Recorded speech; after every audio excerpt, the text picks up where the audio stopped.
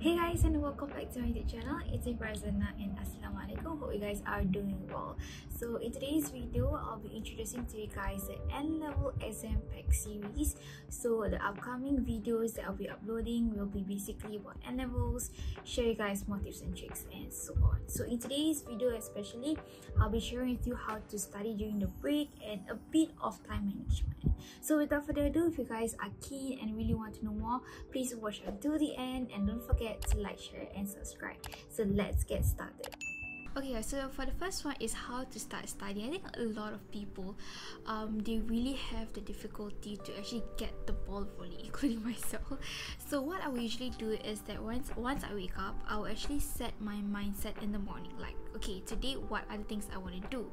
So before I head to the shower, before I start my breakfast, I know what I want to do. So it actually helps to register my body and my mind to the study mode, and also it doesn't um cause me to actually drag a lot of things like you know after breakfast or oh, I just want to play my phone. But no it's like okay after breakfast I just want to study.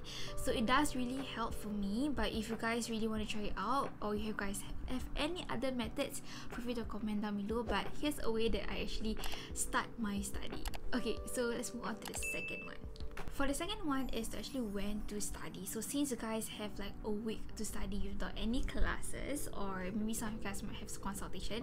So I will usually break my day into three study slots. So it will be in the morning one, followed by the tea break timing or, or even in the afternoon and lastly will be in the evening. So some people tend to actually if you guys are more like really want to go all out, you guys can actually add like four timing slots. So it will be like for example early in the morning maybe start 8 and then full at 1 then followed by 4 and then last one meeting in the, in the evening and I also realized that some people will actually start studying for 4 a.m. onwards or even for 5 a.m. But I'm not a type of person and if you guys are not a type of person, listen to me, okay?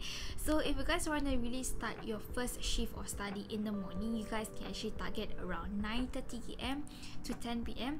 I think it's really ideal because the latest will be 10 a.m. and you will finish around 12 p.m. So it's kind of like your lunch time. So technically speaking, you have ample amount of in the morning for you to study and it's not too early for your body to function. For me right now i'm really used to you know starting classes at 9 a.m so having a 9.30 is kind of privilege for me. And as for you guys since the holidays maybe loosen up a bit and start at 9.30 so yeah it's a bit of like a guidance for you guys but this actually depends on your own preference in terms of when to start studying. But yeah i will usually put three study slots in my day throughout the week for before the N level starts. So let's move on to the next one. So I've shared you guys on when to study, but right now, how long should I study in that study slots? So mine, um, kind of advice would be a maximum of two and a half hours, but a minimum should not be lesser than one hour thirty minutes. So your minimum should target about one hour and thirty minutes. But if you guys have like your own preferences, go ahead. Or I think the best guideline would be actually your papers, the duration of your paper itself so here's a small small little tip for you so if you guys are starting in the morning try to choose a subject that is easy or even try to choose a topic that is easy to start with. So that your mind and body is like more uh, getting starting the engine really not not too difficult for you to comprehend. So that from once you get from the easy ones your body started to be more be more focused and more motivated because you're getting the right answers. You know what to do. And then coming up to it's like after half an hour of start uh, after after half an hour of you studying you can then start with the intermediate um, questions or even the harder questions that requires to to really think more. So yeah.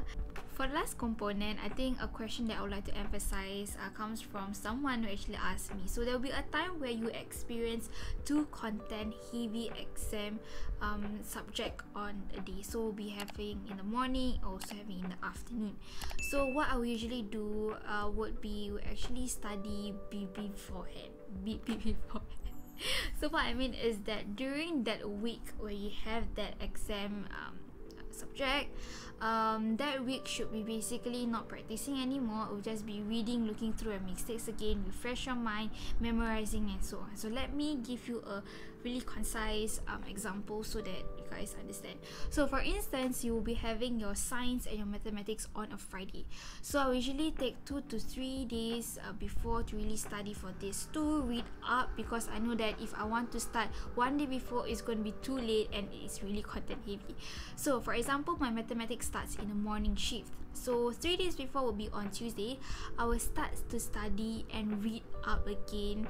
Like maybe break it up maybe like um topic 1 to topic 4 will be reading on Tuesday.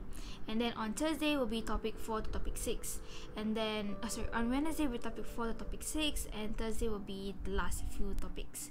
Then as for my um, second subject uh, which is in the afternoon shift I will only start on Wednesday. So will be like the topics uh, the first maybe half of the topics or one quarter of the topics on Wednesday.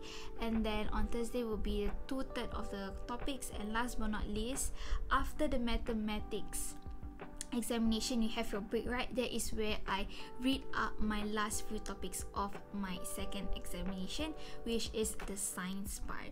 So that is how i usually like juggle my time. Oh, okay so basically that's the end of this video. Hope you guys managed to learn and get a bit more tips on how to study during your break. If you guys have any questions feel free to comment down below. And i would like to ask you guys if you guys want to study with me videos so that to accompany you guys during your study week. So let me know in the comment section and say I want study videos okay? So see you guys on the next episode and see you soon and all the best for N levels next week. Bye. I've been changing up my direction